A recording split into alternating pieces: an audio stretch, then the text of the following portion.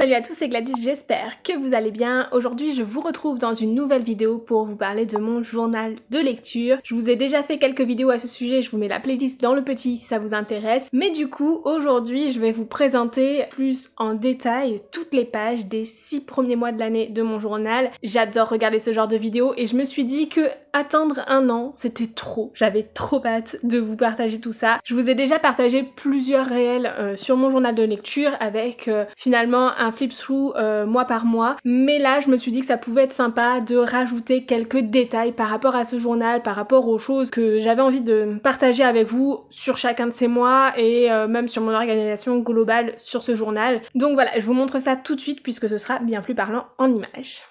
Alors du coup mon carnet vient de la boutique de Margot. C'est un carnet l'organisé, il est un petit peu vieux, c'est une ancienne édition, vous pouvez retrouver des carnets l'organisé mais pas exactement celui-ci. Ce qui différencie c'est surtout le nombre de pages, je crois que dans les nouveaux carnets il y a un petit peu moins de pages et euh, le nombre de signés également puisqu'ici j'en ai qu'un seul et il y en a deux dans les nouveaux carnets.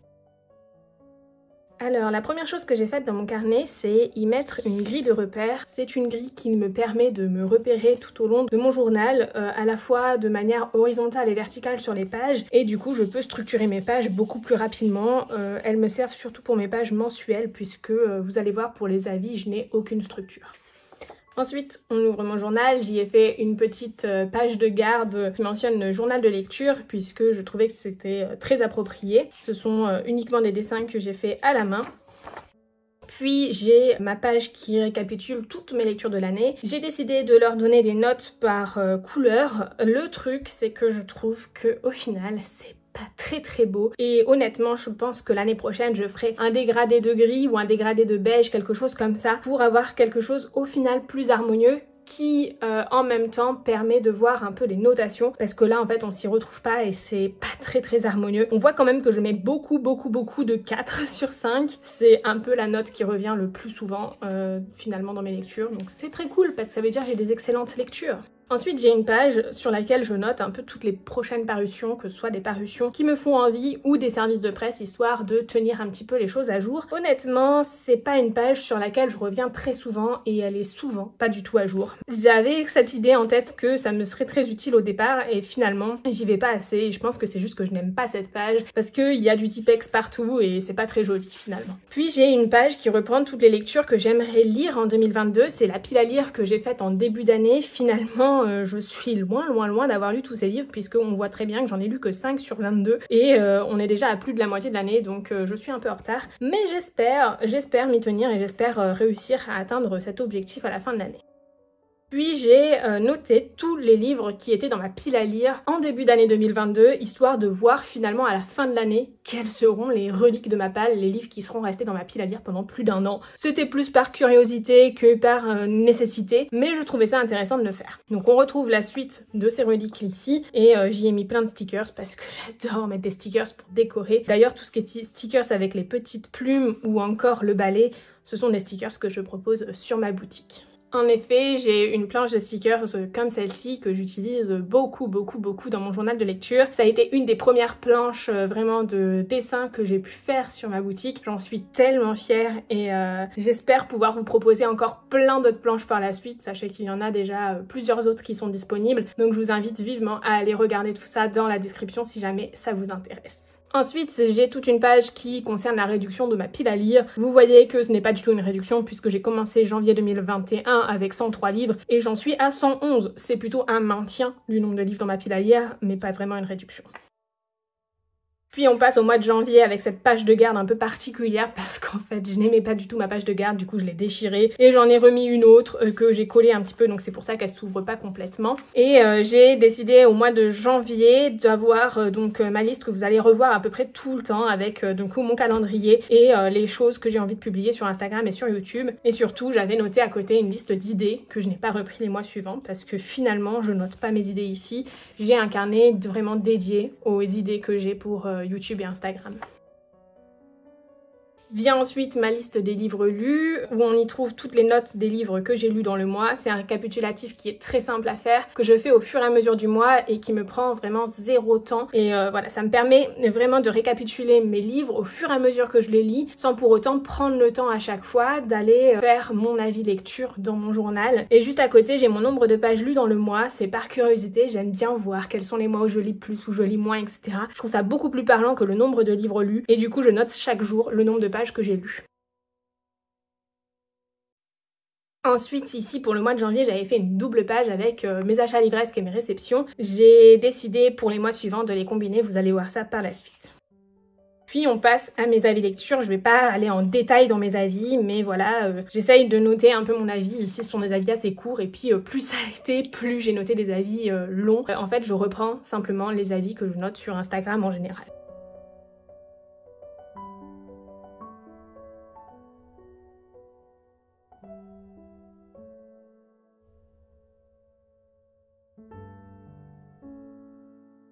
Du coup, j'utilise à la fois des collages de papier avec des pages de livres, du papier que je trouve chez Action en général et que je trouve plutôt sympa. J'utilise aussi pas mal des masking tape, euh, je trouve ça plutôt cool. En même temps, j'y ajoute beaucoup de stickers pour aller vite dans la décoration et aussi parfois des tampons.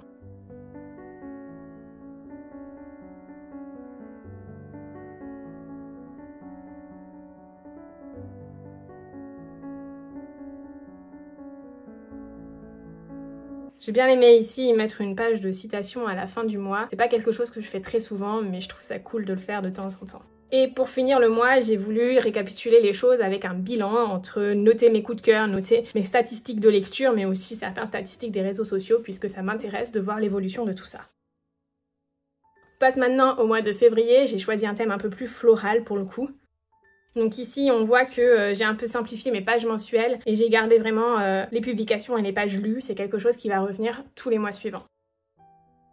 J'ai voulu mettre aussi en parallèle mes livres lus et mes achats et réceptions de manière à voir tout de suite en un premier coup d'œil si j'ai lu plus ou pas que de livres que j'ai reçus. Et on voit que pour le mois de février, ma palle a augmenté très sérieusement. J'ai parfois certaines pages qui se collent puisque euh, bah, j'utilise de la colle en fait souvent pour, euh, coller euh, bah, tous ces, feuilles découpées et finalement bah, parfois il y en a un petit peu qui dépassent et ça colle un peu les pages entre elles, c'est pas très pratique mais bon écoutez je suis pas assez minutieuse apparemment. Ici j'y ai mis un bilan lecture d'un challenge, donc le challenge Romantasy de Nina Quill auquel j'ai participé. Puis mes avis lecture, ici j'ai combiné toute la saga Playard parce que j'ai enchaîné les tomes et du coup ça n'avait pas trop de sens finalement de faire des avis séparés. Ensuite, on y trouve plusieurs autres avis lecture.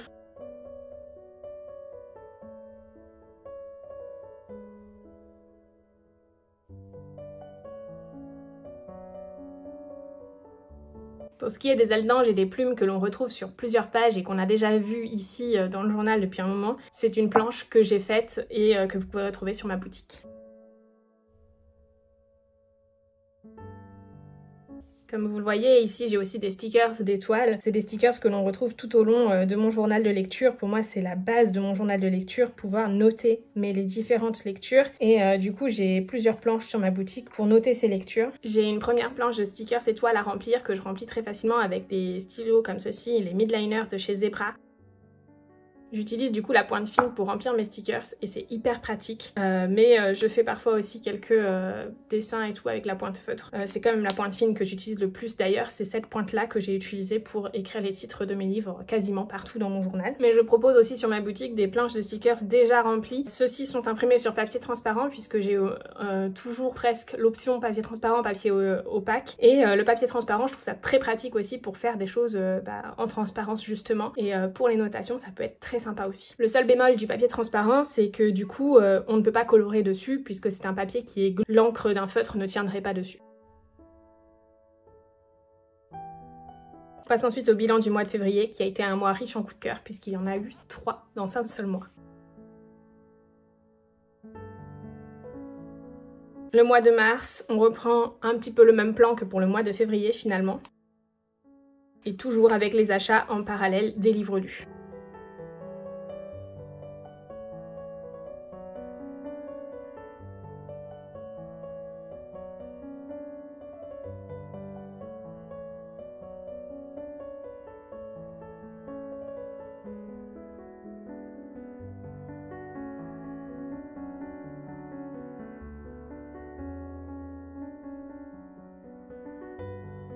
Mon bilan du mois de mars est très concis, j'ai voulu faire en sorte qu'il tienne sur une seule page, histoire de ne pas avoir à rajouter une page de citation parce que je n'étais pas inspirée et pouvoir entamer directement le mois d'avril sur une page droite sans avoir le mois de mars ici. J'aime énormément ces décors du mois d'avril, ils sont très simples, assez épurés. Finalement, ce qui fait tout, en fait, c'est ce papier que j'ai trouvé chez Action, que je trouve juste magnifique. Pour ce qui est de mes stickers mensuels comme ceci, c'est des stickers qui viennent de la boutique de Margot. Ce qui fait un petit peu la structure de ce mois d'avril, ce sont ces petits traits en fait euh, assez discrets mais plutôt sympas et donc ce sont des traits que j'ai fait avec des stylos émotes. Alors c'est pas vraiment ceux qui sont ici puisque j'ai pas pris la couleur que j'ai utilisée ici mais voilà ce sont des stylos de la marque Emote qu'on trouve facilement en grande surface et qui sont vraiment sympas pour faire ce genre de choses. Ils ont des pointes vraiment très très fines et euh, vraiment c'est super chouette comme stylo à utiliser pour, euh, ces choses là.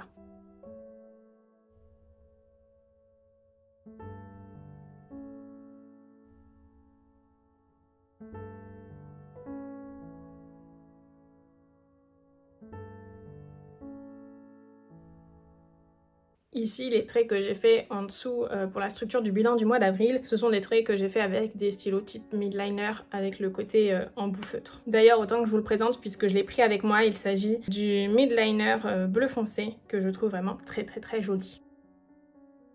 On passe au mois de mai, un mois où je n'avais pas beaucoup de temps pour mon bullet journal, du coup j'ai fait quelque chose d'hyper simple. D'ailleurs, comme on voit, j'avais vraiment pas beaucoup de temps pour beaucoup de choses, du coup j'ai pris un break sur les réseaux sociaux où je n'ai absolument rien publié, que ce soit sur Instagram ou sur YouTube, mais j'ai quand même pris le temps de lire un petit peu. Et euh, du coup j'ai mis en parallèle encore une fois mes livres lus et mes livres achetés.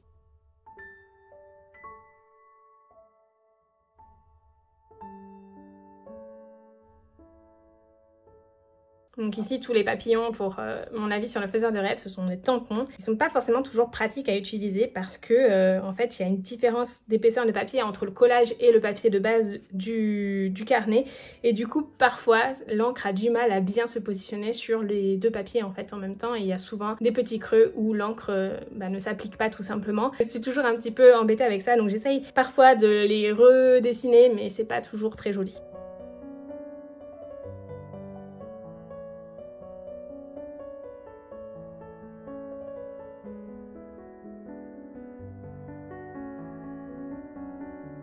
On passe maintenant au mois de juin, encore une fois un mois plutôt simple.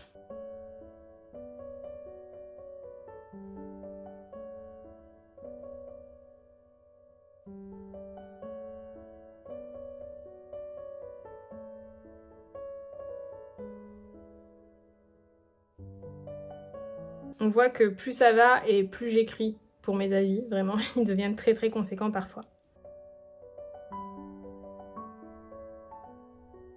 Pour ce mois de juin, j'ai utilisé un surligneur type Stedler, euh, couleur euh, beige chair un petit peu. Et je trouve ça vraiment super chouette. J'adore ces surligneurs. J'en ai un autre en gris, mais j'en ai aussi un bleu et un noir.